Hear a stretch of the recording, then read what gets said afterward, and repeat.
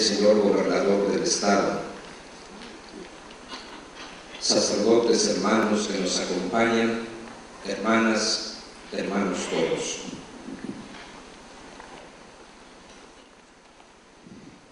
Era el año de 1950 y en el mes de junio, el día 6, se cumplían 12 años del tránsito al cielo del siervo de Dios, don Rafael Isa Valencia, quien fuera el quinto obispo de Veracruz. Con ese motivo, el venerable cabildo de la catedral, esto es los canónigos, junto con el sucesor de Monseñor Guisa, el sexto obispo de Veracruz, Monseñor Manuel Pío López, determinaron exhumar sus restos del panteón antiguo de Jalapa Querían pasarlos a una cripta destinada a los obispos en la iglesia catedral. Habían fijado el 28 de mayo de 1950 para llevar a cabo los trabajos de la exhumación. Y efectivamente así lo hicieron. Fueron comisionados por el mismo cabildo los entonces canónigos don Justino de la Mora, conocido de muchos de ustedes, personas mayores, don Emilio Abascal, quien después fue arzobispo de Jalapa, don Ignacio Leonor Arroyo, más tarde obispo de Tuxpan, don Miguel Mesa, Recordarán a los hermanos Mesa, don Daniel y don Miguel, muy famosos aquí en Jalapa. A los padres Carlos Valiente y Antonio Navarrete. Así como a ocho seminaristas. Entre ellos se encontraba el padre Miguel Sainz, seminarista en ese tiempo, Fausto Rico, Casto Simón, otro sacerdote también conocido por nosotros, y cuatro alumnos de la escuela de música que tenía en ese tiempo el señor Justino de la Mora. Habían preparado para ese acontecimiento una urna de madera forrada con una laminilla de plata del interno porque pensaban que iban a sacar restos áridos, como llamamos, restos óseos. Un cadáver después de 12 años de sepultado quedan restos óseos. Y ya habían calculado las medidas, la forma, todo lo tenían muy bien calculado para la exhumación. Y esa noche del 20 28 de mayo de 1950, a escondidas, de manera furtiva, así como queriendo que nadie se enterara del acontecimiento, llegó la comitiva por partes al antiguo panteón de Jalapa. Iban los albañiles, iban los canónigos designados, iban los seminaristas para ayudar y cuatro alumnos de la escuela de música. Pronto empezaron los picos, las palas a cavar la fosa donde estaba sepultado el siervo de Dios. Creían que nadie los vería.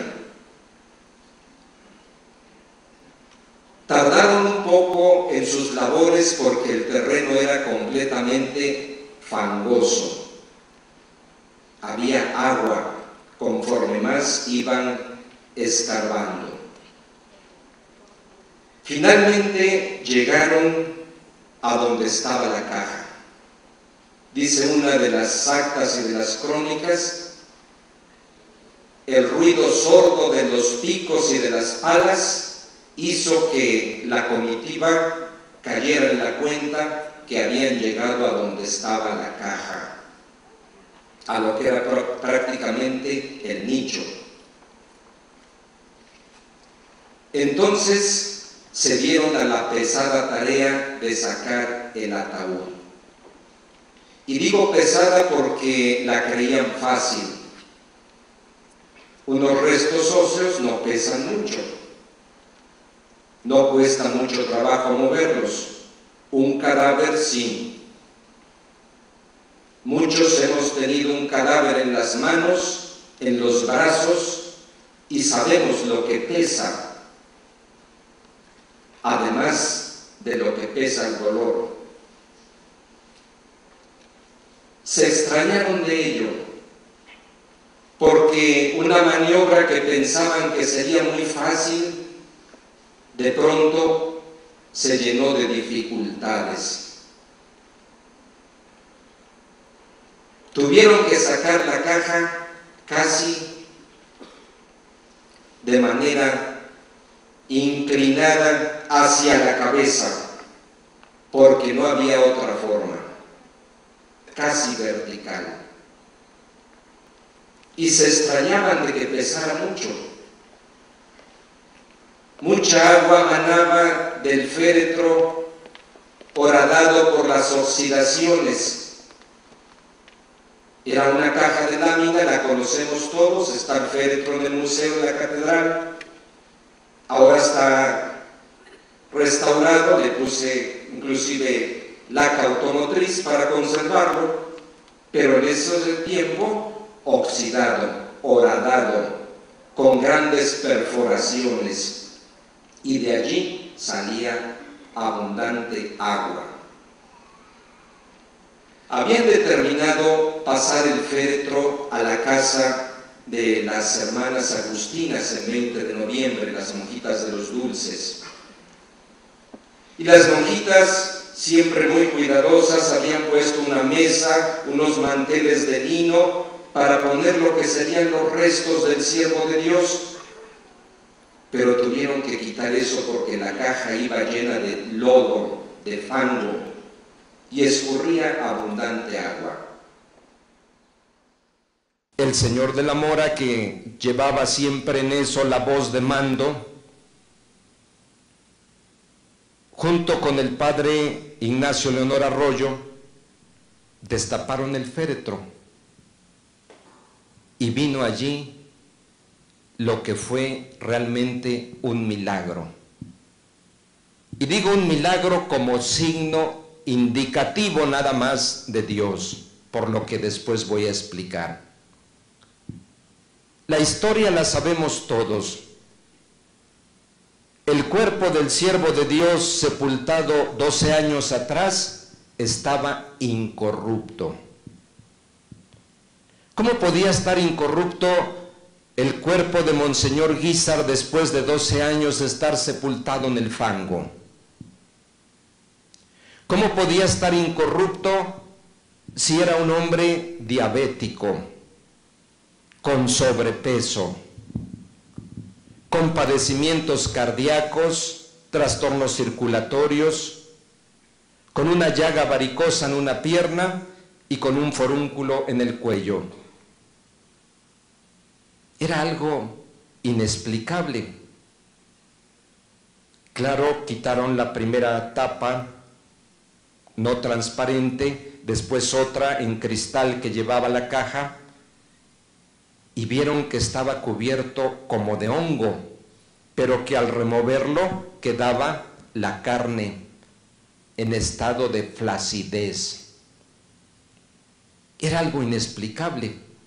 Aquí hay médicos connotados y todos sabemos que el cadáver de un diabético pronto va a la descomposición. Y si hay una llaga varicosa, el proceso de necrosis, de gangrena, va corriendo inmediatamente, no tarda mucho. Un signo de Dios. La mano de Dios estaba sobre Monseñor Guizar, que lo tenía preparado para una misión desde la patria celeste dirigida hacia nosotros que vamos peregrinos a la casa del Padre. Eso causó verdaderamente conmoción en Jalapa. Los periódicos, los diarios que circulaban en ese tiempo daban la noticia a ocho columnas. Tanto los diarios locales como la prensa nacional no hablaba de otra cosa sino del hallazgo del cuerpo incorrupto del quinto obispo de Veracruz, don Rafael Guizar y Valencia. Los mayores recordarán que hasta en el cine se daban las noticias y allí también se hablaba de eso. También en los noticieros del cine salía el hecho asombroso de que en Jalapa se había encontrado el cuerpo incorrupto de don Rafael Guizar. Claro que eso trajo también algunas cuestiones delicadas, porque lo que en ese tiempo era salubridad, que ahora es la Secretaría de Salud en el estado de Veracruz, lo que en ese tiempo era salubridad, esa dependencia había dado permiso para exhumar restos secos, no un cadáver. Y eso ponía un poco en dificultades a los canónigos porque habían exhumado un, no, un, no restos secos, sino un cadáver. El señor de la Mora llamó al doctor Carlos Aceves, algunos lo recordarán, al doctor Ricardo Gutiérrez, al doctor Suárez, para que visitaran el cadáver incorrupto de Monseñor Guizar en la casa de las monjas adoratrices. Y ellos fueron el 29 de mayo, al otro día. Estaban asombrados ante el milagro. No daban crédito a lo que sus ojos veían. Las opiniones se dividían, con reserva las emitían y con mucho respeto, porque para ese día y desde la misma noche del traslado del cuerpo, ya la casa de las hermanas adoratrices estaba llena. Creían que no se había dado cuenta nadie de la exhumación. Desde las ventanas aledañas muchos ojos observaban esos movimientos en el panteón. Y cuando se enteraron del hecho, se desbordó la gente en el convento de las madres adoratrices. Entonces, el señor de la Mora llamó a otros médicos que se hicieron acompañar de colegas suyos, y fue el doctor Blasquez, el doctor Suárez, el famoso doctor Sanginés, el doctor Galindo, el doctor Gil, el doctor Moreno, el doctor Gutiérrez y el conocido doctor Vega Lanzagorta, que todos recordamos. También sus opiniones eran encontradas, pero ninguno podía dar una explicación satisfactoria al hecho milagroso de haberlo encontrado incorrupto. Ellos inspeccionaron el cadáver, no encontraron explicaciones y por parte de salubridad hubo una orden. Regreses el cuerpo al panteón. No dimos permiso para sacar un cadáver, sino restos óseos. Y el señor de la Mora, que era un señor de carácter fuerte, como les decía, dijo, pues si quieren que vengan ellos y lo regresen, porque yo no permitiré ni el pueblo permitirá que se regrese. Y efectivamente, el cadáver incorrupto de don Rafael Guizar empezó a ser visitado por miles de fieles. Dicen, muchos lo recordarán, eran niños, jóvenes, adultos, en 1950, que las filas para entrar a la catedral, y no exagero porque he escuchado testimonios fidedignos, llegaban hasta el mercado Jauregui, tanto por la calle de Revolución como por la calle de Lucio. Muchos de ustedes irían a tocar el cadáver con una flor y llevarla como reliquia, a poner un rosario sobre el cadáver para encomendarse al pastor santo que había dado su vida apacentando la grey veracruzana. Muchos habrían ido a pedirle ya su intercesión para alguna necesidad de cualquier tipo. Muchos lo recordarán. Para estos efectos hubo una intervención de salubridad a nivel federal. El 4 de junio, el doctor Torres Torrija, médico legista, Vino de México enviado por las autoridades federales en materia de salud y encabezó una comitiva médica. Su diagnóstico en el caso fue, no encuentro explicación alguna que satisfaga el hecho de haber encontrado incorrupto el cuerpo de don Rafael Guisa. Creo que fue la opinión más sensata. No dijo es un milagro Simplemente dijo, no encuentro explicación natural, dadas las condiciones del terreno y dadas las condiciones en las que murió el santo obispo de Veracruz. Largas filas iban a ver al pastor, al padre y desde entonces al santo. Digo desde entonces al santo porque circulaban las voces, tenemos un santo. Esto era en el año de 1950. El 5 de junio, las solemnes vísperas pontificales ya habían arreglado el cadáver, lo habían lavado, le habían cambiado las vestimentas que tenía en la tumba, estaba expuesto para que todos los fieles pasaran por doble, por triple fila, y en las vísperas pontificales una sentida oración fúnebre por el padre José Melgoza, más tarde obispo. El 6 de junio, la misa pontifical. Su sucesor, Monseñor Pío López, vestido de pontificales, y el sermón y también la oración fúnebre a cargo de el entonces un gran orador, el padre Antonio Huerta, conocido, querido en Córdoba. El 7 de junio depositaron nuevamente su cuerpo ya, pero en la capilla que se llamaba de Santa Teodora, que ahora se llama de San Rafael Guizar. Ese hecho de la incorrupción del cadáver de Monseñor Guizar,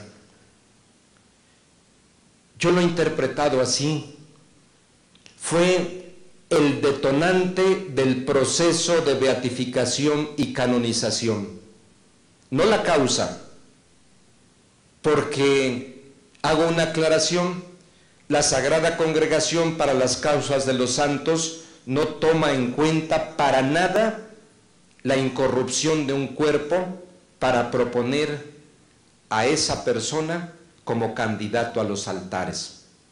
Porque puede haber explicaciones diversas. Y como decimos, para no errarle, mejor definitivamente no toma en cuenta para nada la incorrupción. Lo que toma en cuenta es la santidad de vida y la vivencia heroica de las virtudes cristianas. Y eso fue lo que se tomó en cuenta en el proceso de beatificación y canonización de Monseñor Guizar, no el hecho de haber sido hallado incorrupto. Pero yo me atrevo a pensar, quizás si no hubiera sido hallado incorrupto, no se hubiera tenido la idea de un proceso. Por eso digo, el hecho de la incorrupción sí fue un signo de Dios y fue el detonante para el proceso, no la causa de la santidad de Monseñor Guizar. Esa, su vida y la vivencia heroica de sus virtudes. Lo depositaron el 7 de junio en la capilla de Santa Teodora y recordarán que quedó a la vista un tiempo, después eso se tapó, se modificó la capilla en el interior. Y en el año de 1951, en el mes de agosto, el señor de la Mora, que había sido vicario general del siervo de Dios, Monseñor Guizar, y que era también vicario general de Monseñor Manuel Pío López, le propone a Monseñor Pío López, que ya era arzobispo de Veracruz, porque en julio de 1951 la Catedral de Jalapa se elevó a la dignidad de metropolitana, con el título de Veracruz, le propone iniciar un proceso de beatificación y canonización. Me contaba un padre, gran amigo, que estará en la presencia de Dios, que cuando el señor de la Mora le presentó esta idea al señor López, el señor López le dijo, no, no, no, no, eso no, es imposible, eso, eso cuesta mucho, no tenemos personal, eso, eso es muy difícil. Y creo que la respuesta del señor Pío López fue prudentísima, porque un obispo no debe aceptar a la primera cuando le dicen, oiga, vamos a hacer en la diócesis un proceso de beatificación, porque no es un juego, porque no es cosa fácil, porque puede iniciarse y nos puede pasar como la escritura dice, iniciar la torre sin calcular bien los saberes y luego quedarse a medias, porque simplemente no dé para un proceso la persona. Dicen que muchas vueltas dio el señor de la Mora para convencer al señor Pío López del proceso. Pero una vez que el señor Pío López tomó conciencia de que valía la pena y había elementos suficientes para un proceso de esa naturaleza, se convirtió en el pilar iniciador de lo que ahora ha culminado con la canonización. Pero quiero también hacer justicia y honor al Señor de la Mora. Él fue su vicario general, él fue su brazo derecho, él y don Pedro Castillo y Landa eran los dos grandes de sus confianzas, porque él se iba a las misiones y los dejaba con toda tranquilidad al frente de la diócesis, porque sabía que tenían autoridad, que podían gobernar y podían apacentar. Y él se iba y cuando llegaba le entregaban buenas cuentas. Pues el Señor de la Mora, gracias a su tenacidad, logró que ya el arzobispo de Veracruz diera el visto bueno para el proceso. E inmediatamente se dio a una tarea que no es fácil. Lo primero que piden para un proceso de esta naturaleza es escribir una biografía, saber quién fue en vida el candidato a los altares, y si alguien conocía muy bien al señor Guizar, era el señor de la Mora. Además era un hombre culto, docto, había estudiado derecho canónico en Washington, tenía autoridad entre el presbiterio. Se dio a la tarea de recolectar los datos que pudo tener a la mano, de esperar que le llegaran otros y escribió la primera biografía que él tituló Apuntes biográficos, que es una recopilación muy buena sobre la vida y obra de don Rafael Guizar. Poco tiempo después se escribió también la obra Ángel sin ojos. Y sabemos la historia de esa obra. Don Carlos Loré de Mola vino como reportero descreído a hacer los reportajes para un periódico del cadáver incorrupto de don Rafael Guizar y ante la evidencia del milagro, su fe se acrecentó. Y él tenía un problema con un hijo suyo que estaba perdiendo la vista y lo encomienda a la intercesión de Monseñor Guizar y escribe más tarde una obra y le pone el título Ángel sin ojos. Don Carlos Loret de Mola más tarde fue gobernador del estado de Yucatán. Se preguntarán, bueno, ¿y qué pasos se dan para un proceso de esta naturaleza? Son complicados. ¿Cuáles fueron los pasos para el proceso de beatificación y canonización? Se siguen unos procesillos, y digo así procesillos, pero con todo respeto. El primero se llama de fama de santidad. El segundo se llama proceso de escritos. El tercero de no culto. El cuarto de virtudes heroicas y el último, definitivo y más difícil, el proceso supermiro, sobre un milagro. Y voy a explicar brevemente cada uno. El proceso de fama de santidad. ¿En qué consistía el proceso de fama de santidad? En demostrar que el siervo de Dios, don Rafael Guizar, quinto obispo de Veracruz, cuando pasó por la tierra, pasó haciendo el bien. Y cuando vivió en la tierra, vivió con fama de santo. Y cuando fue llamado a la patria eterna, murió con fama de santidad, o como se decía en otros tiempos, en olor de santidad. ¿Qué había que hacer para ese proceso? Llamar a testigos, testigos de primera mano, testigos que habían convivido con el siervo de Dios, que lo habían visto en las circunstancias buenas y en las circunstancias malas, porque uno puede ser muy santo cuando todo va bien, porque uno puede alabar y bendecir a Dios cuando la vida va como miel sobre hojuelas, pero cuando la vida no es así, no es fácil. Entonces había que escuchar testigos que conocieran en una y en otra circunstancia el siervo de Dios.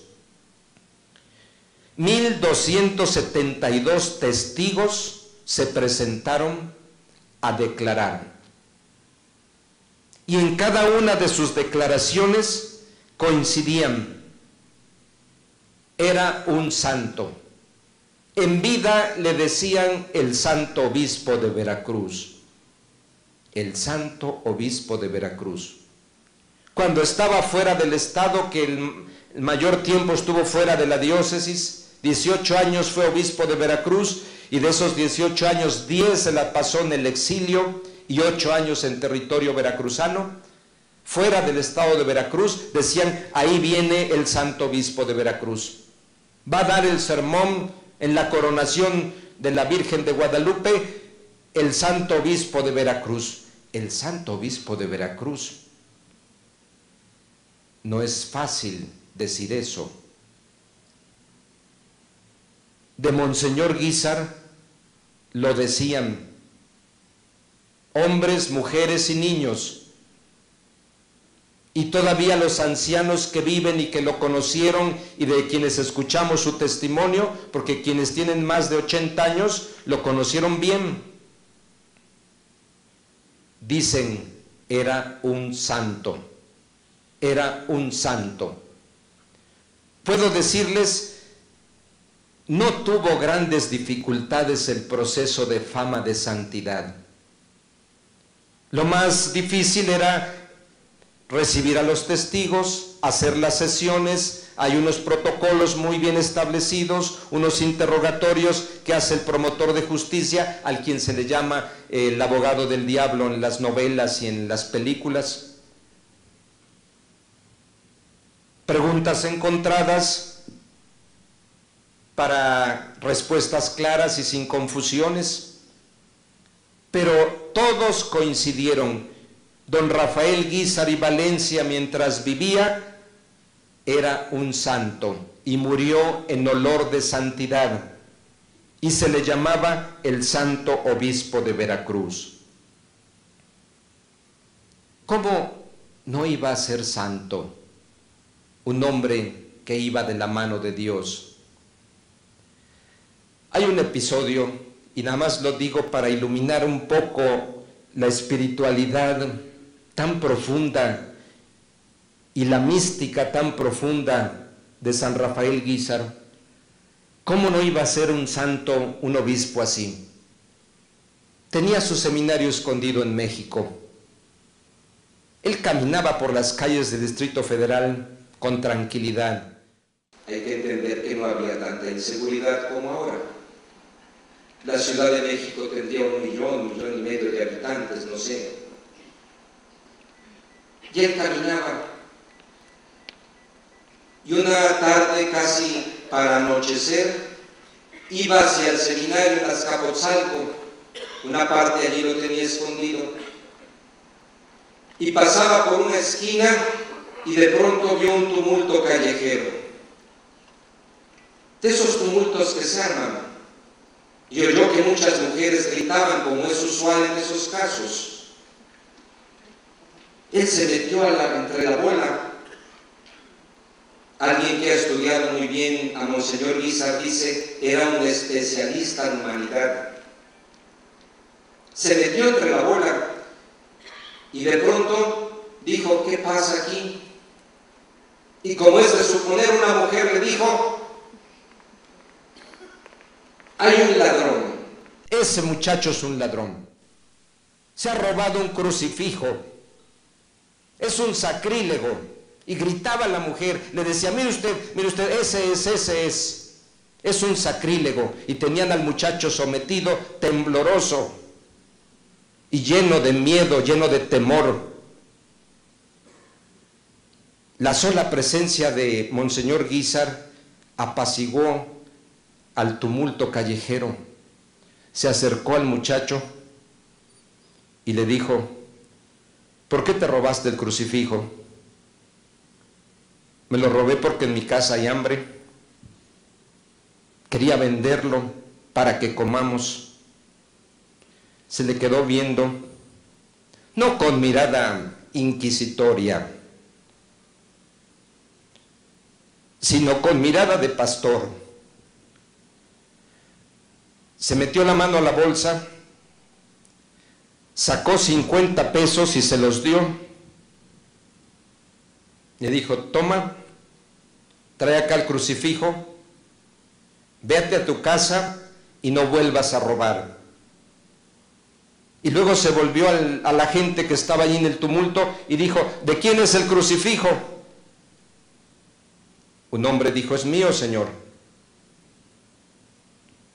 Le dijo Monseñor Guizar, pues guárdalo en el interior de tu corazón, en lo más hondo, para que no te lo roben. Solo un santo podía decir eso. Otro hubiera increpado al ladrón, hubiera dicho, si es un sacrílego, llamen a la policía, qué barbaridad, cuánta delincuencia tenemos, cuánta inseguridad, ya no podemos caminar tranquilos por las calles. Lo que decimos el común de los mortales, lo que decimos el común de los mortales ante un robo. Tome usted el crucifijo, guárdenlo en lo más hondo de su corazón para que no se lo roben. Creo que el mensaje es claro. Un santo sí podía decir eso. Ese proceso, como les decía, no tuvo grandes dificultades. Se terminó y fue felizmente aprobado. Luego venía el segundo paso, el proceso de escritos. ¿De qué se trataba? El señor Manuel Pío López sacó un edicto, un decreto, donde exhortaba a todos los fieles y a los sacerdotes y a las religiosas que si tenían algún escrito del siervo de Dios, lo entregaran a las oficinas de la postulación, al Señor de la Mora. Todo lo que tuvieran, así fuera un recado manuscrito y mal hecho, todo lo que hubiera escrito el siervo de Dios, que lo entregaran. Y empezaron a llegar muchos escritos, desperdigados por Veracruz, por México, por Puebla, por los lugares donde había estado Monseñor Guizar, por el sur de los Estados Unidos, de Cuba, de Colombia, de Guatemala. Mandó exhortos a los obispos de aquellos lugares para que promovieran lo mismo en sus diócesis y las mandaban a Jalapa. ¿Cuál era el motivo o cuál es el motivo de hacer un proceso de escritos sobre un candidato a los altares? Miren, la iglesia es sabia. Uno cuando escribe se refleja, quiera uno o no. Lo que uno escribe dice mucho de sí mismo y a veces escribe uno barbaridades. A veces escribe cosas hermosas. A veces escribe poemas. A veces escribe aberraciones. Pero eso que se escribe es reflejo de la persona. No solamente la forma de escribir, eso ya los grafólogos lo saben muy bien, sino el contenido de los escritos.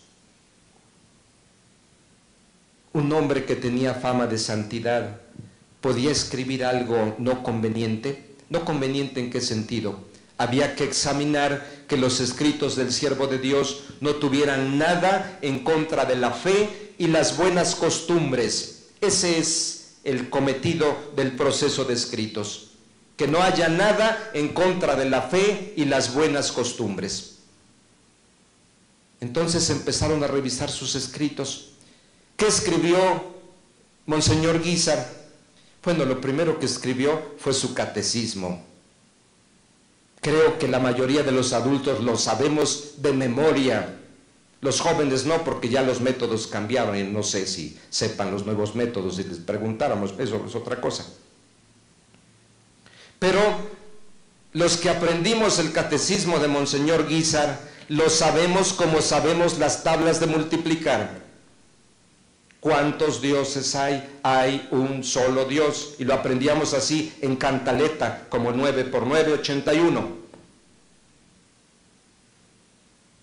¿Quién hizo todas las cosas? Dios hizo todas las cosas. ¿Cuántas personas hay en Dios? Sabemos la respuesta. ¿Quién está en la hostia consagrada? Jesucristo está realmente presente en la hostia consagrada. ¿Cómo debemos comulgar? Debemos comulgar en gracia de Dios y en ayunas. ¿A quién recibimos cuando comulgamos? Cuando comulgamos recibimos realmente a Jesucristo. Eso los adultos nos preparamos así para la primera comunión. Yo recibí ese catecismo así y por eso me lo sé de memoria. Se revisó su catecismo. ¿Podía tener algo ese catecismo en contra de la fe y de las buenas costumbres? No, jamás. Al contrario, era un compendio excelente de la fe como un prontuario que quedó grabado en la mente y en el corazón de muchas generaciones. Y con ese compendio de la doctrina cristiana, porque él así le llamaba, logró buena parte de la evangelización en Veracruz, que no había sido suficientemente evangelizado. Y donde quiera que estuvo, llevaba su catecismo llevó su catecismo. y lo llevó al sur de los Estados Unidos y lo llevó a la isla de Cuba y lo llevó a Bogotá en Colombia donde dio misiones y lo llevó a varios pueblos y parroquias de Guatemala. En Roma con motivo de su canonización hubo un congreso en un Ateneo, en el Ateneo Pontificio Regina Apostolorum y uno de los ponentes fue el cardenal de La Habana,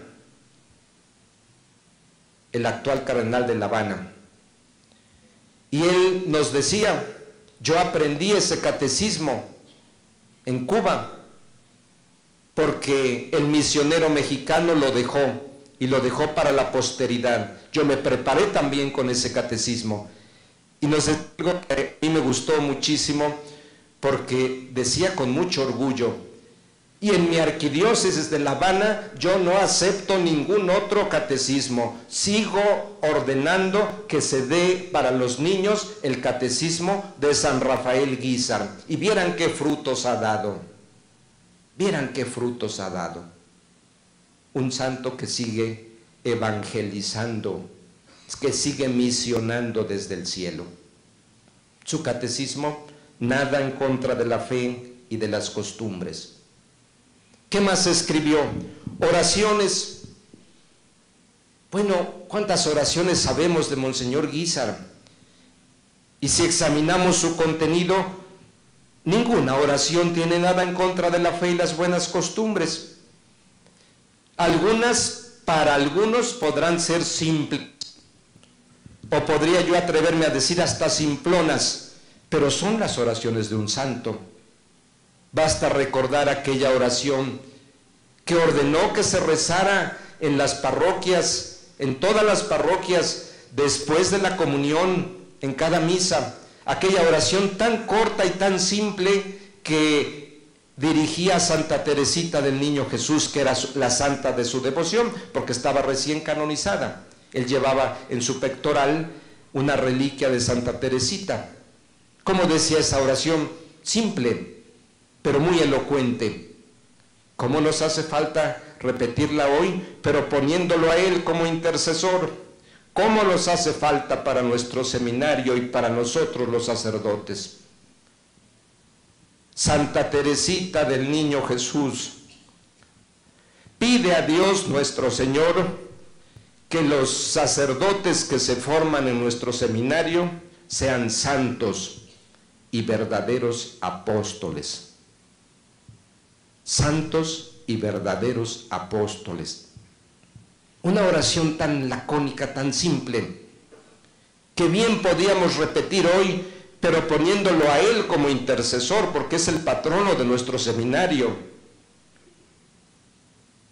Y cómo para orar por la perseverancia de las vocaciones y de los sacerdotes podemos invocarlo sin hacerle ninguna ofensa a Santa Teresita, quitándola a ella y poniéndolo a él, que en su tiempo invocaba a Santa Teresita, Santa Teresita del Niño Jesús. Pide a Dios nuestro Señor que los sacerdotes que se forman en nuestro seminario sean santos y verdaderos apóstoles. ¿Una oración así podía tener algo en contra de la fe y las buenas costumbres? No, podía ser simple. Podía tener errores gramaticales si quieren, de sintaxis, porque hay quienes analizan eso y dicen, no, pues esto no tiene buena sintaxis. De acuerdo, pero él no buscaba sintaxis, buscaba unión con Dios, buscaba la intercesión de una santa a favor de su seminario. ¿Qué más examinaron? Sus cartas. Mucha correspondencia Miren, era muy curioso para escribir, se iba chueco. Yo tengo todos los manuscritos guardados y se ve que se iba chueco. Y que escribía con aquella tinta china, con manguillo. ¿Se acuerdan los manguillos que había? Los jóvenes yo creo que no los conocen. Pero había unos frasquitos cuadrados de tinta china y manguillo, porque a veces se ve que, se le secaba la puntita esa del manguillo y como que se perdía la escritura y luego le volvía a echar otra vez tinta, ya se veía más grueso y luego más delgado. También Se ve que escribía en máquina de escribir, quizás una máquina muy vieja, con una tinta de una cinta media morada, pero los tipos eh, de la máquina yo creo que estaban chuecos porque también eh, unos más altos que otros y los renglones así chuecos, el carro y los tipos no estaban bien. Ahí está su correspondencia. ¿Cuál era el contenido de su correspondencia? Agradecer a los bienhechores de su seminario, pedir a las autoridades la libertad de su pueblo para manifestar su fe, agradecer muchos favores recibidos, invitar a sus misiones, cartas pastorales, exhortaciones, edictos que como obispo tenía que sacar. Cosas de esas podían tener algo contra la fe y las costumbres, probablemente, pero se examinaron y todo lo encontrado no tuvo nada contra la fe y las costumbres.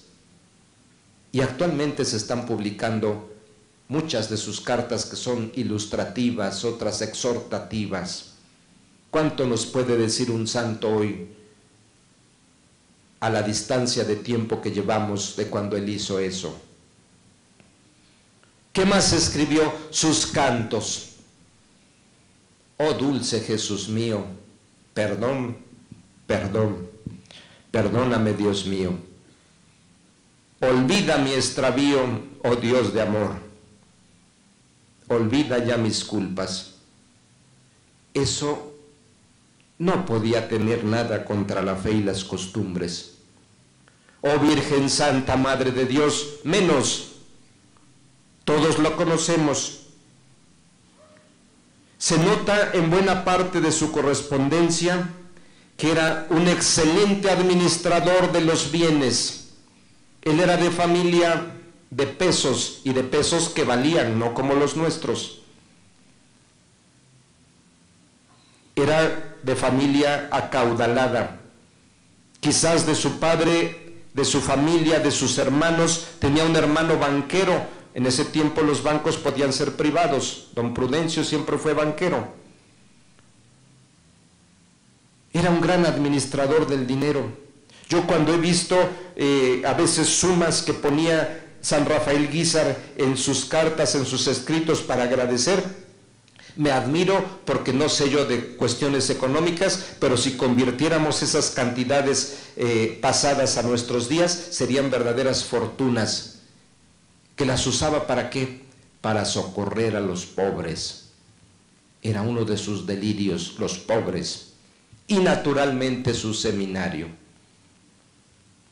Un excelente administrador del dinero dinero que caía en sus manos, dinero que se le multiplicaba por la gracia de Dios, pero no tardaba en tenerlo en las manos, inmediatamente lo repartía. Un hombre que confiaba en la providencia de Dios de manera ilimitada. Dios proveerá, la providencia de Dios es infinita. Un episodio de su vida, estando en México, se le vencía una renta que tenía que pagar de las casas de su seminario y ya tenía que pagarla. Y el padre Carlos Berrones, que era su ecónomo, le dijo, Señor, no tenemos para la renta. Le dijo, Padre Berrones, no se olvide que hay que confiar en la providencia de Dios. Y esto es cierto, ¿eh? En ese momento sonó el cartero con un silbato en la puerta del seminario y llevaba una carta, entre otra correspondencia, y allí una carta del padre Enrique Trejo, quien fue famoso párroco en Huatusco. Llevaba la cantidad exacta como donativo para el seminario de lo que tenía que pagar de renta.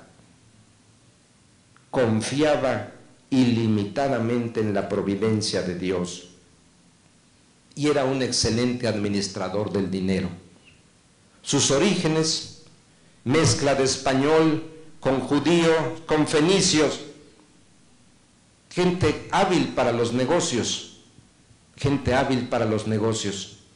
Él, y lo digo entre comillas, para negociar con Dios, en favor de su pueblo, siempre en favor de su pueblo, porque él personalmente vivió pobre y quiso morir como el más pobre entre los pobres. Y también eso el Señor se lo concedió. El proceso de escritos no tuvo dificultades, se aprobó. Seguía otro paso, el proceso de no culto. El Papa Urbano VIII, dentro de los procedimientos canónicos para las causas de los santos, sacó un decreto donde prohibía que a un siervo de Dios se le rindiera culto público antes de su beatificación. Solo permitía que el culto fuera privado y a nivel meramente personal. Se trataba de que nadie se adelantara a la declaración solemne del Santo Padre al beatificar a alguien para que a partir de ese momento se le pudiera dar culto público. Aquí hubo algunas dificultades. Desde que se sepultó en el Panteón Antiguo de Jalapa, la gente iba el 24 de octubre, el día de su santo, a cantarle las mañanitas y a ponerle un recado, papelitos de peticiones, en la tumba en el Panteón. Y el 6 de junio, también el día de su muerte, iban ya cuando se le encontró incorrupto, cuando se pasó a la catedral, bueno, qué decir, todos somos testigos de lo que sucede en la catedral en torno al 24 de octubre. Pero esto desde 1950 que se pasó a la catedral. Estas peregrinaciones, esta presencia de los fieles nunca fue promovida oficialmente por la iglesia, fue permitida y aceptada como una manifestación personal privada. Allí hubo muchas investigaciones, recordarán que no se podía poner flores sobre la tumba, no se podían encender veladoras, no se podían bendecir sus imágenes.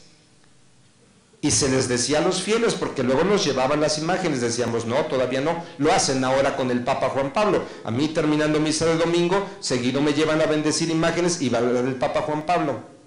Les digo, no, espérense tantito, no tarda, no tarda, no tarda, pero espérense tantito.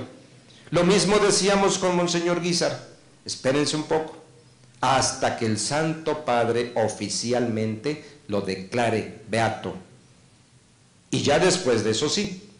Bueno, algunas dificultades por las multitudes que venían, pero se aclaró que era a nivel personal. El proceso de no culto se pasó satisfactoriamente, felizmente. Venía un paso muy importante, el siguiente, penúltimo, el proceso de virtudes heroicas. ¿De qué se trataba? También de demostrar que el siervo de Dios, don Rafael Guizar y Valencia, había vivido de manera heroica, esto es de manera excepcional, no de manera común como lo hacemos todos, porque nos esforzamos por vivir las virtudes, pero no nos sale, no nos sale. Por muchas ganas que le echemos, la regamos, no nos sale. Él vivió las virtudes de manera excepcional. ¿Qué virtudes? En primer lugar, las virtudes teologales, la fe, la esperanza y la caridad. Hombre, ¿cómo no iba a vivir la fe un hombre de esa altura, de santo? Esa fe vivísima que tenía en la Santísima Eucaristía, cuando se postraba ante el Santísimo Sacramento expuesto, cuando celebraba la Santísima Eucaristía. Yo le escuché aquí decir en Jalapa a una señora, para misas, yo creo que ha de haber a mi misa, las del señor Guizar, las del señor Guizar, es así. Yo creo que ha de haber a mi misa. ¿Por qué? Porque con una devoción sin igual, con una unción, celebraba la Eucaristía. Una fe a prueba, pero una fe en poder hacer las cosas en nombre de Dios y en el Dios que confortaba su espíritu.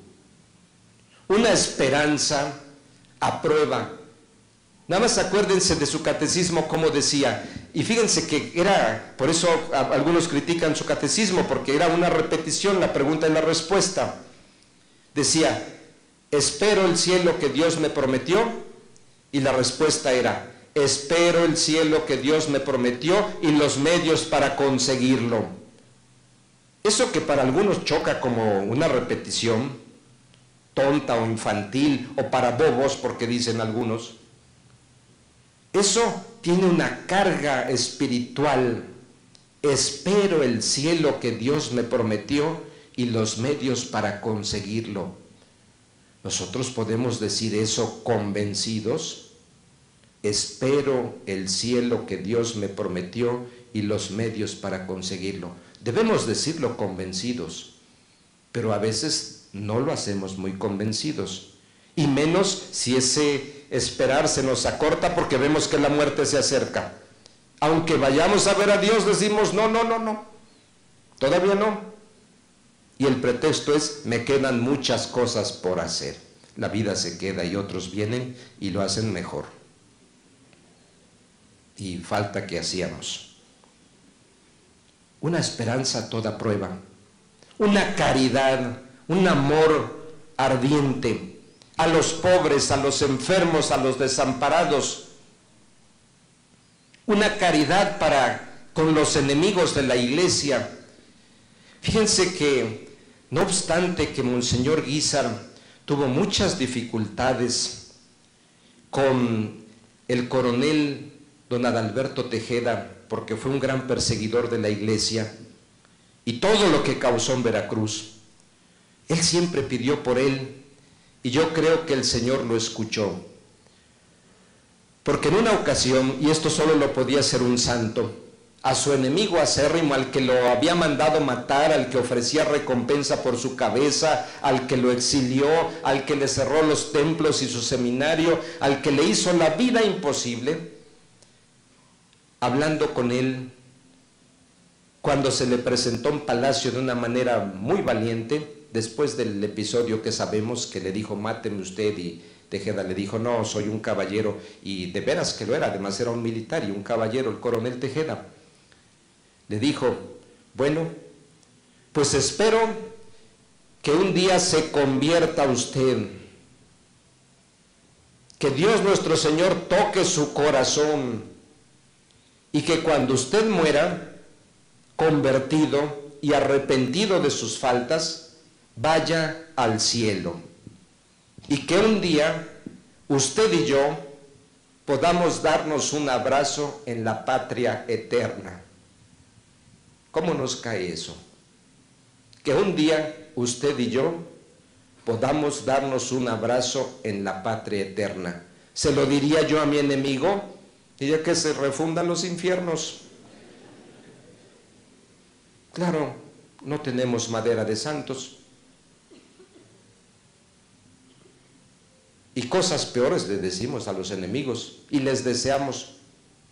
El deseo de ese hombre santo para su enemigo, espero que muera usted convertido y que un día usted y yo podamos darnos un abrazo en la patria eterna.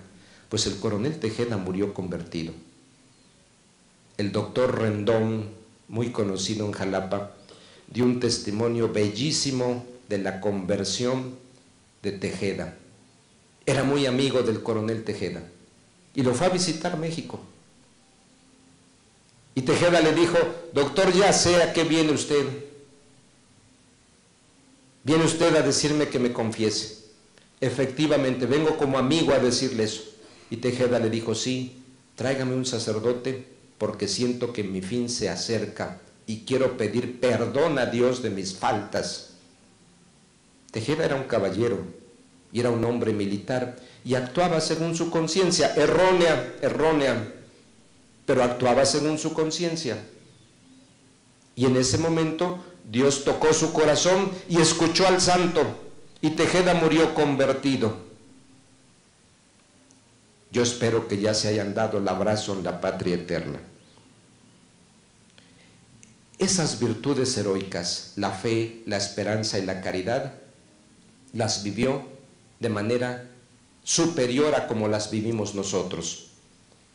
Pero luego venía el examen de la vivencia de las virtudes cardinales, la prudencia, la justicia, la fortaleza y la templanza. Igual, de manera heroica, no me detendré más para no alargarme mucho. Monseñor Guizar vivió la pobreza también como virtud excepcional. Además, la paciencia, la obediencia, el espíritu de sacrificio y otras virtudes más que adornaron su alma sacerdotal y episcopal. Por eso en vida le decían el santo obispo de Veracruz. Todo ello lo pasó después de todos los testigos que iban y decían en la línea de la paciencia vi que el siervo de Dios era de esta, de esta forma y testificaban y se asentaba en actas. Vieron en el video unos volúmenes enormes que se tienen en los archivos de la causa, ahí están resguardados. Todos esos volúmenes contienen los testimonios, los procesos a los que me estoy refiriendo. Fue el video antecedente.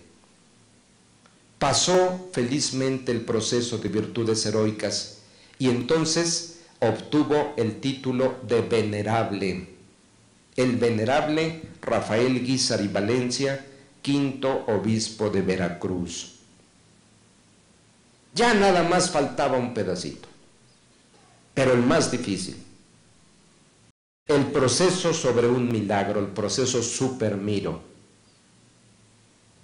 Y aquí hubo grandes dificultades y grandes tropiezos y muchos temores porque así son estos procesos. Fíjense que en el lenguaje de los postuladores decimos lo siguiente, que el, el milagro es la firma de Dios para decirnos que un venerable pueda ser beatificado y luego canonizado. ¿Dios escribe? No. Pero hemos escuchado decir que Dios escribe derecho en los renglones torcidos de nuestra vida. Sí. Entonces escribe o no escribe. No escribe. Es una forma de decir, Dios escribe derecho en los renglones torcidos de nuestra vida, decía San Agustín. Efectivamente. Pero es una forma de expresión. Y eso de que decimos que el milagro es la firma de Dios, también es una forma de expresión es la manifestación de Dios, la obra de Dios, para decirnos, este a los altares, porque está conmigo. Son formas de expresión. Se trataba pues de buscar un milagro para su beatificación y luego otro para su canonización. Y hablo de los milagros que se buscaron primero para su beatificación. El padre Agustín Fuentes se dio a la tarea de estudiar un milagro, un presunto milagro, ocurrido en la Ciudad de México, Distrito Federal, en la persona de la señora María Guadalupe Miranda de Plasencia, que tenía una luxación congénita de la pierna izquierda. Y la luxación consistía en que el fémur, la cabeza superior del fémur estaba separada de la cavidad de nacimiento y la señora por lo tanto arrastraba la pierna, no tenía control sobre ella, desde niña, desde joven y luego como mujer adulta y casada. Era, es porque todavía vive, de una, no sé si ahora todavía tendrán posibilidades, pero eran de una familia de pesos, todo tipo de tratamientos y de atenciones había recibido. Quizás no estaba la ciencia tan avanzada como ahora. No podían regresar, incrustar el fémur a su lugar y ella congénitamente arrastraba la pierna. Se casó recibía todo tipo de atenciones de su esposo, bueno, en brazos la llevaba a donde ella quería ir, en silla de ruedas, tenían dinero, tenía asistentes que le ayudaban para moverse y demás. Fue a Cotija, acabamos de estar muchos en Cotija. Oyó hablar de Monseñor Guizar y quiso ir a Cotija, no venir a Jalapa, sino a Cotija.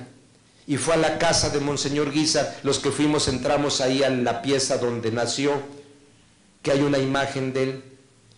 Fue con sus hijos, la llevaron sus hijos, ya grandes, jóvenes, grandes. Y ella quiso quedarse allí para hacer oración. Los hijos se salieron al parquecito del pueblo, que es muy pequeño el parquecito. Dijeron a mi mamá que haga oración, que nosotros vamos por allá, como suele pasar. Se quedó doña María Guadalupe haciendo oración. Y ella misma lo expresó en sus testimonios, que contemplando la imagen de Monseñor Guizar, sintió un calor extraño en su cuerpo. Un calor extraño, nada más. No era otra cosa, un calor extraño. No más. Pero tardó un rato allí haciendo oración. Y de pronto pues, se dio cuenta que ya era tiempo suficiente, que ya sus hijos estarían diciendo que su mamá se tardaba mucho orando y todo lo que suelen decir en esos casos, entonces ella los quiso buscar, pero no estaban, y de una manera ni siquiera plenamente consciente, cosa que no podía hacer por sí misma, se puso de pie y sin la andadera que llevaba, dio unos pasos. Y salió de la casa, así como fuera de sí, a, buscar a sus hijos, a gritarles, y cuando ellos la vieron sin nada, le dijeron, espérate, no te vayas a dar un ranazo porque va a estar peor, te vas a luxar la otra, ya sabe Dios. Era un milagro que de pronto la señora pudiera caminar. Bueno, hicieron fiesta, regresaron a México, contactaron al padre Fuentes, se inició el proceso en la Ciudad de México. Y había una cosa que a mi manera de ver era doble milagro. La cabeza de fémur seguía fuera de su cavidad. Y la señora podía caminar con normalidad. Inclusive esta mujer, porque lo hizo, montó a caballo, porque sus hijos tenían alguna cosa de concursos hípicos y cosas de esas, y ella se atrevió a montar. Eran gente bien.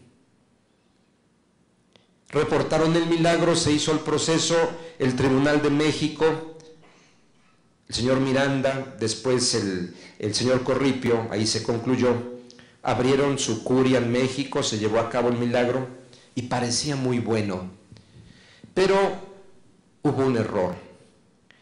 Se presentó como eh, perfecta, como instantánea y perfecta curación de la señora María Guadalupe Miranda de Plasencia de la luxación congénita de la pierna izquierda, de l'anca sinistra, se tituló en italiano.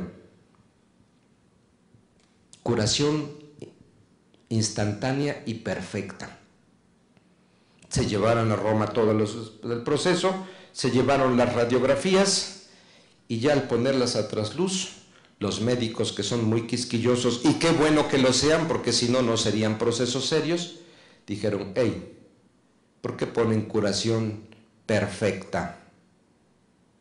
Curación perfecta la entendemos que el fémur sin la cirugía adecuada, sin la prótesis adecuada, sin lo que se tenía que hacer quirúrgicamente hubiera regresado solo a su cavidad, se hubiera incrustado y hubiera tomado la movilidad necesaria. Y este hueso sigue bailando. Esto no pasa, no es curación perfecta. Y ese milagro que parecía muy bueno, no pasó. El padre Fuentes luchó, llevó a México, a, a Roma, perdón, unos médicos de aquí que, bueno, no, no pasó, no pasó. Ni modo. Y qué feo se siente que un milagro no pase, porque para la instrucción del mismo se utilizan muchas fuerzas, se utilizan muchos recursos y se depositan muchas esperanzas. El proceso no pasó. Luego, Monseñor Pío López siguió impulsando pues eh, todo esto, eh, Monseñor Abascal, el señor arzobispo don Sergio Beso, y se presentaron otros milagros. Me tocó eh, instruir en Monterrey un segundo milagro, que también parecía así como el que iba a llevar a Monseñor Guizar a la beatificación. Se trataba de esta patología, leucoencefalitis multifocal progresiva, padecida en la persona del doctor José Ruiz Gordillo, un oftalmólogo eminente en la ciudad de Monterrey, profesor en la Facultad eh, de Medicina y Oftalmología de la Universidad de Monterrey, eh, de Nuevo León, un cirujano prestigioso que trabajaba para la clínica vidriera, atendiendo a los trabajadores, tenía un consultorio prestigiado, y de pronto, por un padecimiento extraño, había perdido la conciencia, la noción de sí, había caído en estado comatoso, más de 90 días estuvo en estado comatoso y no había forma de que volviera. Su gravedad era tal que había llegado a tener hasta posturas espásticas, son muy feas. Pero estaba excelentemente atendido porque era también una persona de dinero y además las instituciones para las que trabajaba lo llevaron a Houston, lo regresaron a Monterrey, médicos de Houston iban a Monterrey para atenderlo personalmente. Y don Mario de Gasperín, en ese tiempo obispo de Tuxpan, tenía algunas amistades en Monterrey y por medio de estas amistades, amigos también de la familia del enfermo, les envió una reliquia, una estampa con una reliquia de los ornamentos de las vestimentas, una reliquia indumentis de Monseñor Guizar. Y el enfermo que estaba en estado comatoso, entubado y con toda la terapia de soporte posible, no dueño de sí, inconsciente totalmente, vegetativo, vegetal, no movía ni los ojos, ni hablaba, ni nada, solo estaba vivo. Le pusieron la estampa de Monseñor Guizar aquí. Después de 90 días de estar en estado comatoso. Y al ponérsela, hizo los ojos así. Entonces, que un enfermo de esa, en ese grado mueva los ojos, ya es un signo muy... yo no sé si estoy de paridades médicas, aquí están los médicos. Se la cambiaron y movió los ojos acá. Llamaron a los doctores. Oiga, venga, venga. Y los médicos dijeron, pues, pues ¿qué hicieron? ¿Qué le dieron? ¿Qué le dieron si este ya estaba para el arrastre? Como los toros. Y uno de los médicos cogió la estampa, la reliquia, y le hizo así sobre los ojos y movía los ojos para un lado y para otro. Y entonces se la escondieron más atrás y se giró un poco, porque estaba sujeto además en la terapia de soporte, los tienen casi amarrados ahí, pero un poco se forzó y vio. Y en cuestión de cinco o seis días, el doctor empezó a tomar conciencia de sí, empezó a recobrar eh, el movimiento, empezó a salir del coma y empezó una recuperación. Dijeron los médicos, inexplicable. se lo comunicaron a don Mario de Gasperín y él me dijo, oye, hay un milagro bueno ahí en Monterrey, ¿por qué no vas? Y yo andaba a la casa de los milagros. Me trasladé a la ciudad de Monterrey. El señor arzobispo de Monterrey todavía no era cardenal, don Adolfo Suárez, muy generosamente abrió su curia, su tribunal, me puso a, mi disposición personal, jueces, todo, oficinas, secretarias, todo, todo, todo. Empezamos a instruir el milagro, a llamar a los médicos, fueron médicos de Houston a declarar, médicos de las clínicas distintas de Monterrey, del hospital universitario, de varios se hizo un mamotreto de este vuelo enorme. Parecía que el proceso era el que lo iba a llevar a la beatificación. Lo terminamos, se concluyó, se hizo la ceremonia de clausura, todo lo que se hace en eso, se sellaron los paquetes y demás, como se tiene que hacer por cuestiones protocolarias, jurídicas. Me lo llevé a Roma con mucha esperanza. Al poquito tiempo me habla el señor arzobispo y me dice, me, estaban buscando, no me encontraron, era domingo, yo estaba creo celebrando, estaba en San Isidro, no sé. Y me dice el señor arzobispo, oye, ya te comunicaron. Le digo, no, señor, que, que no pasó el milagro. Bendito sea Dios. Uno siente ahí que se quiere morir. Porque son muchos los esfuerzos, mucho el empeño, pero no el personal, no se refiere a eso, sino a todos los que laboran y sobre todo a las expectativas. Miren, yo sentía una presión cada 24 de octubre de la fe de ustedes y de mucho, mucha gente de nuestro pueblo que decían ya, pero ya para qué están esperando la beatificación si Él es santo. Les voy a comentar una anécdota que me pasó, obviamente que evito el, nombre. Fui a visitar a una anciana, una viejita, de una familia muy acomodada aquí en Jalapa. Y estaba pues muy grave estaba ya de veras en artículo de muerte, casi inconsciente. Ya la vi, la auxilié, le decía yo al oído, abuelita, le voy a poner, yo no sabía si me oía o no, solo se quejaba. Le voy a poner los santos óleos, mire, le voy a encomendar a Dios, etcétera. La ungí, le dije a la familia, ahí reúnanse, vamos a rezar. Le di la absolución, la bendición papal, y le dije lo siguiente, cuando llegue usted a la presencia de Dios, le pido un favor y le decía yo así al oído. Yo no sabía si me estaba escuchando. Pídale a Dios nuestro Señor que nos conceda encontrar un milagro para canonizar a Monseñor Guizar. Y la viejita que estaba toda inconsciente, de pronto saltó y me dice, ah, ya es santo, aunque ustedes digan que no. Y volvió. Yo me quedé. Fíjense, esa fe. Decían, pero ¿para qué esperan que el Papa lo beatifique, lo canonice si para nosotros es nuestro santo? Y claro que lo es, yo comulgo totalmente con eso, pero no podía estar en esa postura. Yo obviamente que comulgo con eso, pero debíamos seguir las normas de la iglesia, la oficialidad y la seriedad, y qué bueno que esto cueste trabajo. No pasó el milagro de Monterrey. Un gran sinsabor, pero vino otro. Una ocasión fui a Orizaba a darles a las monjas guadalupanas una instrucción porque tenían capítulo general y me pidieron que fuera tres, cuatro días a darles preparación para el capítulo, cuestiones canónicas.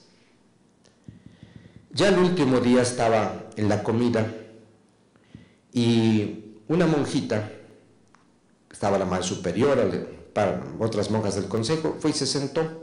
Me dijo, padre, ¿y cómo va la causa del señor Guizar? Le dije, ay madre, pues va muy atrasada, no encontramos un milagro. Fíjese que ese es el problema, cuando lo encontremos un milagro viable, va a salir. Me dice, yo sé de uno.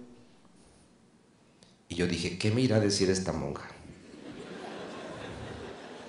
Fíjense, fíjense cómo los caminos de Dios van por otro lado, como uno piensa, ¿eh? De veras, los pensamientos de Dios no son los nuestros, ni, sus caminos son nuestros caminos, se nos va llevando y uno va por otro lado. ¿Qué me irá a decir esta monja? Sin duda que me va a decir una cosa piadosa, pues con mucho respeto la voy a escuchar, pero pues una narración piadosa. Y se fije usted que en Córdoba hay una señora que no podía tener hijos y tuvo un hijo. ¿Qué no se lo han reportado? Le dije, no. Yo dije, pues, pues eso qué milagro es. No podía tener hijos y tuvo un hijo. Bueno, pero la seguí escuchando. Y de pronto se levantó y me dijo, espéreme, ahorita le voy a hablar por teléfono, porque tengo su teléfono, ¿eh? Y yo tenía que regresarme a Jalapa. El señor arzobispo me había pedido que fuera a bendecir Caxa, la central de Caxa que la acababan de inaugurar. Me acuerdo muy bien, él por alguna causa no podía ir y me había dicho, ve tú por favor a bendecir la central de Caxa. Yo tenía que estar a una hora determinada aquí. Me urgía regresar a Jalapa por eso. Y me dijo, ya hablé y dicen que ahorita lo esperan. Híjole. Dije, madre, pero yo me voy a Jalapa. No, pues ahorita lo esperan, no se tarda usted nada. Me dio la dirección, la calle 12, no sé qué cosa. Ahí voy a Córdoba corriendo, ¿no? Pensando en llegar tarde al compromiso que tenía en Jalapa que me había encargado el señor arzobispo. Y llego a la casa de los Montiel Rivera, ya me presenté, me estaban esperando, la monjita había hablado. Y les digo, ¿de qué se trata? Dicen, pues de este que nació, que no. Ya vi a Sergio, ustedes lo conocen. Y le dije a Sirana, oye, ¿y tienes alguna prueba de eso? Dice, sí, espéreme usted. Y fue a sacar una receta por ahí amarilla, toda arrugada, manchada. Me dice, mire usted, esto es lo que tengo de referencia, pero es un caso verdaderamente excepcional. Que veo, blefarofimosis familiar tipo 1 con síndrome de Dubovis. Dije, Dios mío, ¿qué es esto? ¿Qué es esto? Dije, bueno, mira, yo me tengo que ir a Jalapa, pero por favor, dame esto porque necesito consultarlo. Llegué, fui a bendecir Caxa rapidísimo, ya me pasé directamente allí y llegué al seminario, estaba de rector del seminario menor. Inmediatamente yo venía con esa inquietud, blefarofimosis familiar tipo 1 con síndrome de Dubovich. En mi vida había yo escuchado semejante terminología. Y le hablo al doctor Pepe García, que sé que está aquí. Gracias Pepe por todas tus ayudas lo mismo que a todos los demás médicos, muchos están aquí que nos ayudaron en el primer proceso y en el segundo proceso. Fíjate que hay este caso. Y Pepe también me dijo, pues es un caso raro, pero ¿sabe qué? Déjeme consultarlo.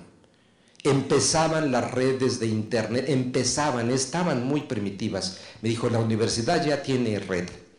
Voy a pedir al seguro y a la universidad y me voy a meter a las redes a investigar y de pronto empezó a aparecer un panorama insospechado. Eran casos contados en el mundo, la literatura médica nos daba ocho casos, eh, de los cuales ninguna mujer había tenido descendencia con ese síndrome, con ese padecimiento, y se abría un panorama muy bueno.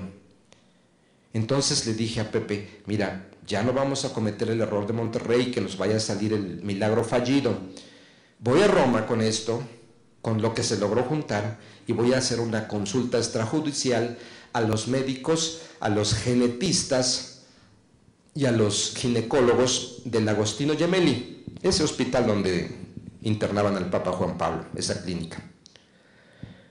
Fui, vi como a cuatro o cinco médicos, genetistas, eh, ginecobstetras, ginecólogos, y me decían, ah caray, como que esto no es muy común, pero déjenoslo, lo vamos a estudiar y le vamos a dar la respuesta. Respuesta, después de una semana.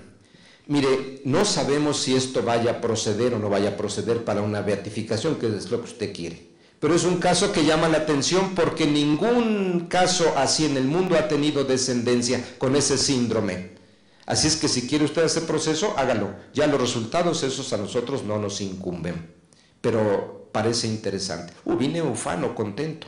Le dije, señor arzobispo, tenemos un milagro. Yo ya, así que ya el asunto está.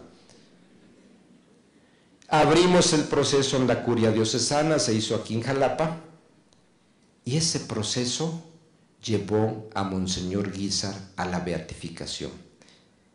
Y un proceso doblemente milagroso, porque la mujer que padece esto, Sirana vive en Córdoba, usted la conoce, no sé si haya venido aquí, eh, no se curó del síndrome. Ella con el síndrome que la hacía genéticamente indispuesta para concebir, además tenía matriz infantil, no menstruaba, jamás. Un caso rarísimo, de veras raro. Había tenido un hijo y para que no dijeran que lo había adoptado, igualito a ella igualito a ella. Igualito, porque algunos dirían, no, pues es que fue a México por ahí, se robó un chiquillo y ya viene aquí a decir que, ya es suyo. No, igualito a ella. Y ese niño, o ese joven, yo creo que estará a punto de casarse, si se casa y tiene mujeres hijas, muy probablemente va a transmitirles a ellas, porque los hombres transmiten el síndrome, pero no padecen la esterilidad, la esterilidad la, padecen las mujeres. Caso raro. Así va a suceder. Bueno, eso llevó a Monseñor Guizar en 1995, el 29 de enero, como lo vimos en el video, a la beatificación. Eso ya nos daba mucha paz y tranquilidad porque ya tenía misa propia, ya bendecíamos sus imágenes, ya se puso su imagen en la tumba, no se había puesto, recordarán que no se podía poner, estaba solamente el Cristo. Hubo fiestas en Roma, hubo fiestas en Jalapa, la conferencia episcopal lo nombró patrono secundario. Bueno, ya tenía oraciones propias, empezó a crecer más la devoción en el beato Rafael Guizar. Pero el proceso no estaba terminado. Faltaba la canonización. Y algunos decían, bueno, ¿y para qué? Pues si ya es beato. Efectivamente, hay muchos que se han quedado como beatos. Recuerden en Puebla, el beato Sebastián de Aparicio es de tiempos de la colonia, del virreinato aquí en México. Y ahí está como beato. Y a cómo van las cosas, creo que ahí seguirá. Porque yo no sé que sigan su proceso de canonización. Que me perdonen los padres franciscanos, pero creo que no. Nosotros no queríamos dejar inconcluso el proceso. El señor arzobispo podía haber dicho, bueno, pues hasta allí. Pero el señor arzobispo, y quiero decírselo desde aquí, excelencia, desde que él sucedió a Monseñor Abascal como arzobispo de Jalapa, fue el primer interesado en concluir, en llevar esta causa adelante a su beatificación y luego a su canonización. Y él puso todos los medios y todo su empeño y me dio a mí todas las facultades y toda la libertad, cosa que le agradezco mucho, excelencia, en nombre de la iglesia, en nombre de la iglesia, porque si él no hubiera puesto empeño o más todavía hubiera prohibido, también la causa se hubiera frenado. Él ha sido un gran artífice en esto, un gran artífice, a quien le debemos agradecer todo eso porque ahora tenemos un santo.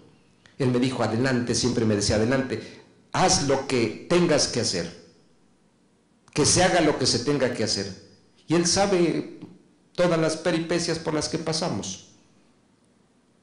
Pero siempre conté con su aprobación y su apoyo irrestricto irrestricto. Entonces me dijo el señor obispo, ahora hay que seguir con la canonización. Dije, sí señor, pero vamos a orar y vamos a pedirle al Señor que nos presente un milagro. Y como lo hicimos para la beatificación, que cuando empezamos a orar el milagro se presentó, cuando como iglesia arquidiocesana oramos en serio, entonces el milagro se presentó. Nueve años, ocho años después, nueve años, estaba yo celebrando misa de dos en la Divina Providencia, terminé, y va mucha gente que quiere bendiciones, quiere confesarse, quiere platicar, saludar, y había una cola enorme de gente. Yo ya tenía hambre, ya me quería ir. Sí, pues uno termina con hambre. A veces creen que uno no come, pero sí comemos y vi toda la cola de gente. Y como es común, porque me sucede, va mucha gente ahí que, me van a decir cosas del tribunal eclesiástico. Es que venimos porque vi usted que mi caso, respuesta a ellos, mira, yo el lunes, el martes, el día que sea, ve al tribunal y eso allá te lo atiendo. Eso no lo atiendo aquí porque mira cómo estoy, se quieren confesar y demás. Ah, bueno, ya. Entonces vi a un, unos jóvenes que yo no sabía si eran esposos, que llevaban un niño cargando, y Flora, que está aquí, su abuela del niño, estaban ahí. Y cuando los vi, nuevamente vean cómo los pensamientos de uno no van con los de Dios. No sé, les dije, Miren, si es alguna cosa del tribunal, ¿saben qué? Les suplico, por favor, mañana me ven en el tribunal. Y abrieron los ojos así grandotes. Me dijeron, no, venimos a reportarle un milagro de Monseñor Guizar. Ah, les dije, ah, entonces espérenme, ahorita despacho rápido a todos, pásenlos allá a la oficina y no me dejarán mentir, aquí están. Los pasaron a la oficina. Rapidito despaché lo demás y dije, hey, vámonos. Y fui a atenderles porque era prioridad. Entonces me dijeron, mire, el milagro consiste en que este chiquitín que traemos aquí, Rafael de Jesús, Rafael de Jesús, iba a nacer con labio leporino y paladar hendido. Pero obviamente que pues uno cuando le narran un milagro así, lo primero que tiene que ser es escéptico, porque si se emociona uno después se decepciona. Yo vi con cierta duda eso. Y le dije, oye, ¿y traes las ecografías, los ultrasonidos, las radiografías, el material de gabinete? Sí, sacaron de un sobre, vía trasluz, y vi allí, en el caso del doctor eh, López Leal, que hasta los milímetros de la abertura tenía de la hendidura del pálato. Y el diagnóstico, labio leporino y paladar hendido. Y luego me sacaron otro del doctor Simpson y también decía imágenes compatibles con labio leporino, paladar hendido. Ya le habían sacado un estudio en el Seguro Social por parte del Seguro eran tres estudios que daban lo mismo y me decían, pues esto fue inexplicable cuando el niño nació porque los médicos lo esperaban, ya hasta cirujanos para ver cómo iban a empezar a corregir la cirugía correctiva. Y, el niño nació muy bien. Les pregunté cuánto le dieron de calificación. Me dijeron, aplicaron Apgar 8-9. En un 8-9, excelente. Ah, pues magnífico. Entonces le dije, a ver, permítanme, yo no soy médico, que me levanto, que le meto los dos dedos así y que palpo el pálato, dije, no vaya a tener por ahí fisuras, partes blandas, que de pronto no haya una soldadura bien, que me muerde. Le saco el dedo. Dije, ah, caray, esto parece, parece bueno, parece bueno. Bueno, ya les agradecí, les dije, miren, ahorita no les puedo responder qué va a pasar con esto. Déjenme consultarlo y por favor su teléfono y estén muy pendientes que yo les voy a llamar. Nuevamente, doctor José García López, por favor ven.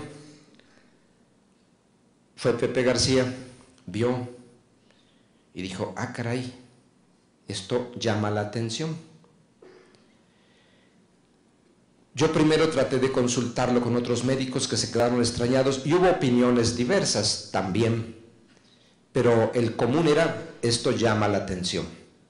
Ya que Pepe me hizo un estudio y me dijo las bases de todo eso y armamos allí ya un estudio preliminar, y dije, señor arzobispo, hay esto. Parece bueno y no debemos desecharlo. Me voy a Roma porque tampoco quiero errarle, voy a consultarlo con los especialistas del Agostino Gemelli. Si me dicen que sí, hacemos proceso. Que Dios te bendiga, que te vaya bien. Fui. Lo presenté. Después de cuatro o cinco días me fueron dando por escrito los pareceres. Pues esto llama la atención porque parece inexplicable. Creemos que vale la pena un proceso para lo que usted intenta. Hágalo. Lo consulté a la Congregación de las Causas de los Santos, me dieron la autorización, me la traje y vine muy contento y dije, vamos a hacer el proceso. El señor arzobispo inmediatamente dispuso todo para eso. Armamos un tribunal especial, como se hace en esos casos. Hubo por ahí algunas eh, trabas. Miren, el demonio no duerme.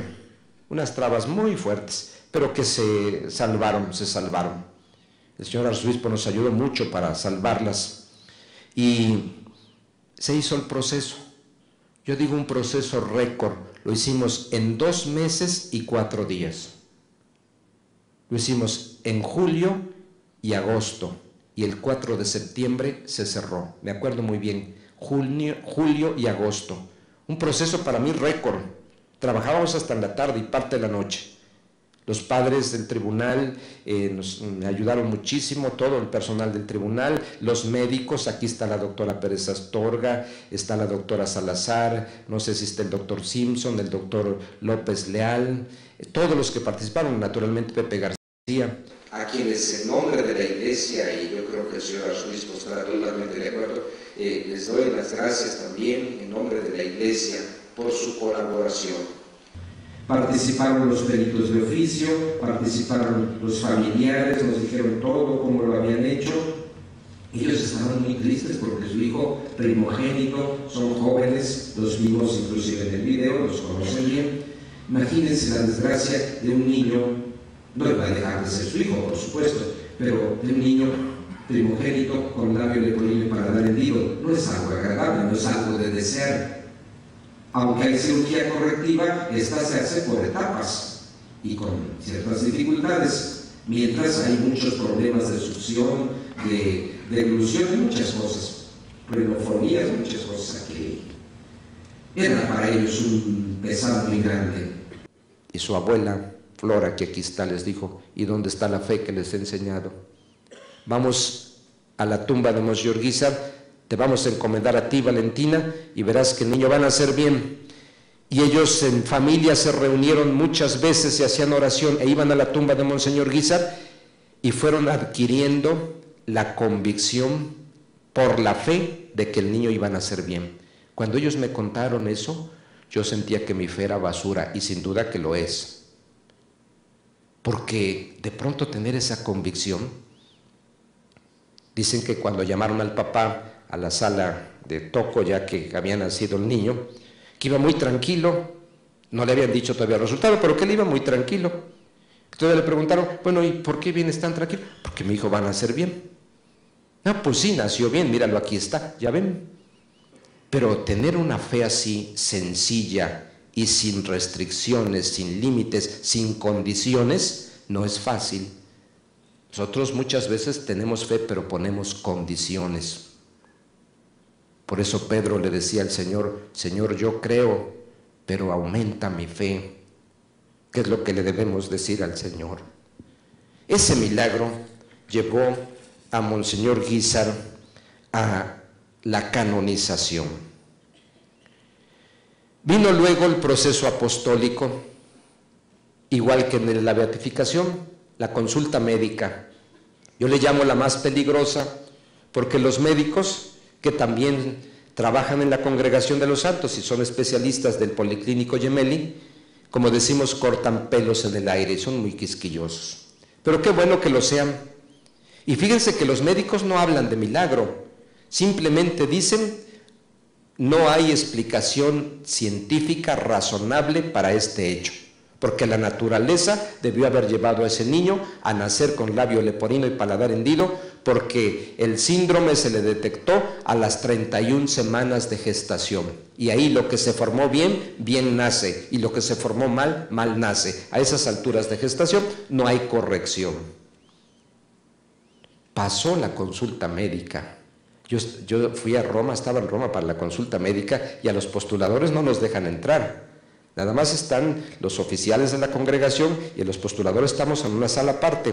Había otros casos otros milagros, éramos cuatro o seis postuladores.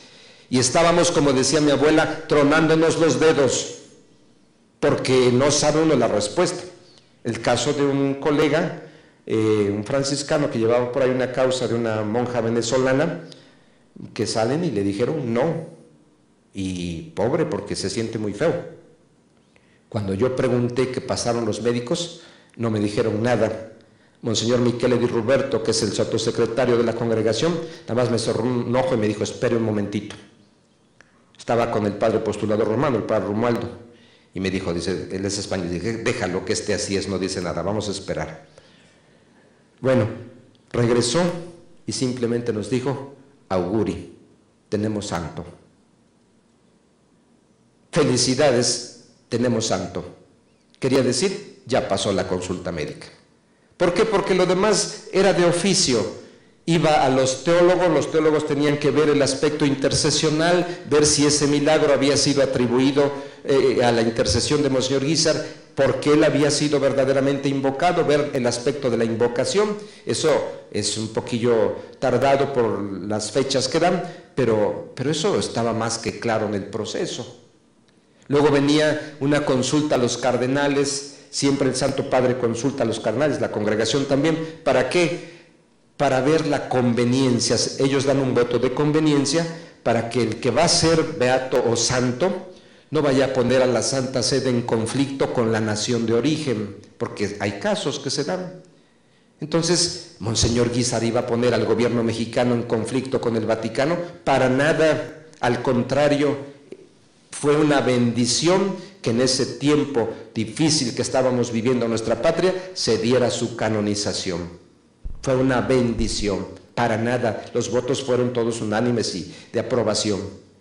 Y finalmente, el primero de julio del año pasado, el Santo Padre en consistorio anunció al orbe católico que el 15 de octubre canonizaría, entre otros, al beato Rafael Guizar, quinto obispo de Veracruz.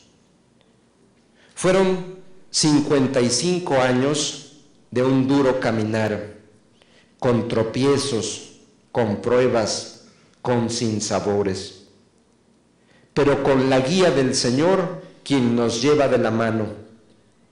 Como dice el salmista, aunque camine por cañadas tenebrosas, ningún mal temeré, pues su vara, su bastón y su callado nos dan seguridad. Y así pasó con el padre Justino de la Mora, con el padre Agustín Fuentes, con un servidor, con Monseñor Manuel Pío López, con Monseñor Abascal, con nuestro arzobispo tan querido, el señor don Sergio Beso. La vara, el bastón y el callado del Señor nos dieron seguridad.